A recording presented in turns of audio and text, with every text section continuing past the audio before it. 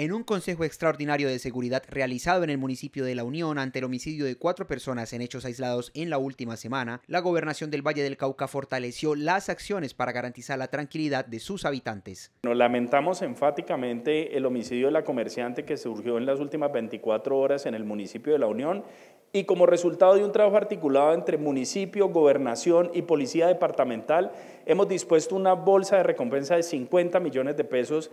por información que conduzca a la identificación y captura de los autores materiales e intelectuales relacionados con este hecho y con otros que se han presentado en el municipio. El incremento de controles viales en el municipio para inmovilizar vehículos sin placa y el aumento de los cuadrantes de la policía son otras de las medidas adoptadas en la Unión tras el Consejo de Seguridad. Es importante resaltar que la Policía Departamental se va a sumar con un esfuerzo aumentando los policías disponibles para garantizar la seguridad en el departamento del Valle del Cauca, con especial enfoque en el municipio de la Unión Valle. Con el respaldo del gobierno departamental, la policía, el ejército y la fiscalía continúan sus acciones operativas e investigativas para desarticular las bandas criminales que pretenden generar zozobra en la región.